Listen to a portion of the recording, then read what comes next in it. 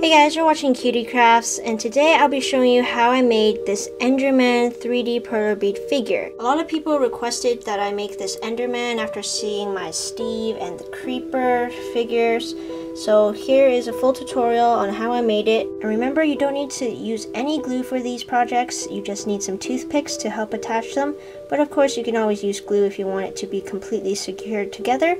So let's get started with making Enderman. Starting with the Enderman's head, this is the exact same design as the Steve and Creeper head, like it's the same shape for all the pieces, except Enderman, of course, is completely black with the purple eyes.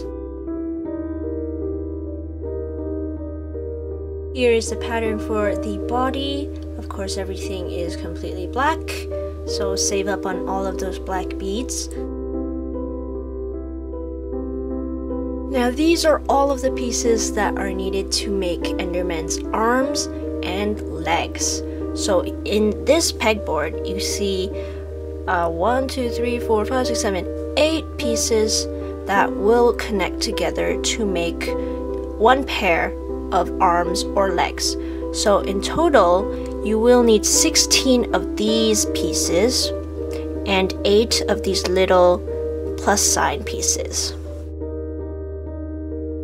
If you want to make sure that these pieces turn out perfectly, I suggest doing them one at a time since these pieces are quite easy to mess up. The beads, if they're ever misplaced, it will ruin the entire thing because any one of these that are not in the right spot will cause the other one to not fit with it and then the puzzle will be ruined. So just to be safe, I suggest doing these all one by one. After you're done ironing, these are the pieces that you should have for the head and once again, I do call these jigsaw projects because they will clip in perfectly together.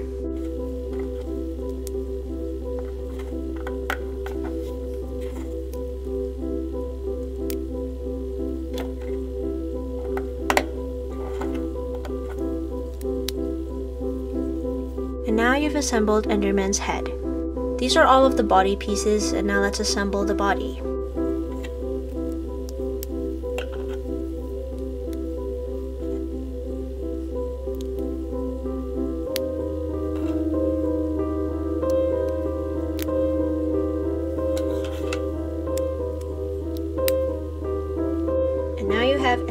Enderman's body. These are the pieces that can make one arm or one leg.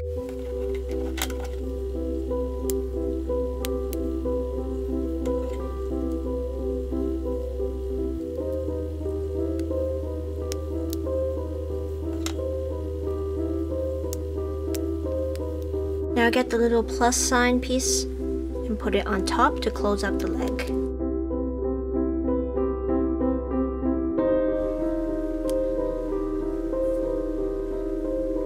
If you do this three more times, you will have four pieces like this, four limbs that will attach to Enderman's body.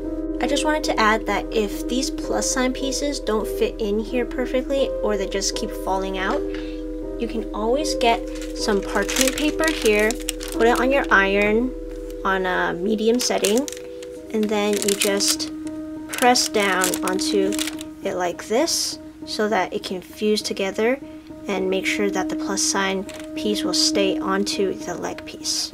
You'll see that it's kind of misshapen, but it's okay because these aren't really noticeable and not that important as long as your figure stays together. Now that you have the arms, legs, head, and body assembled, you'll need some toothpicks. Sometimes after ironing, it's kind of hard to poke a toothpick through one of the holes here.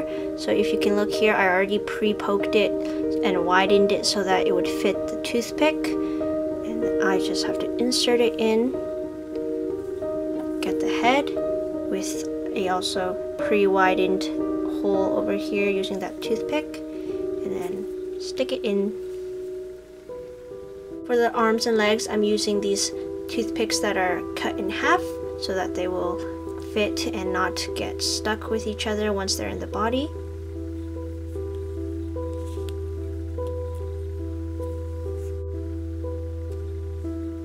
Just poke it in.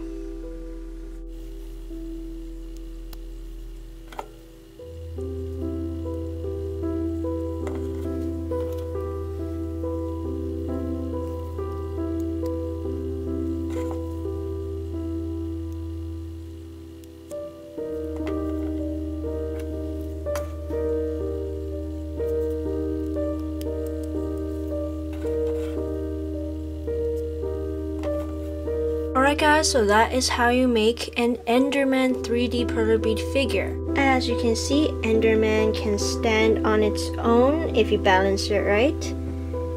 And he stands quite tall, a lot taller than Steve, who is just at his shoulder. So that is my third 3D Minecraft figure that is made from pieces that will assemble together like a jigsaw puzzle. It requires no glue at all, just ironing and perler beads. Oh, and by the way, I got an Instagram account.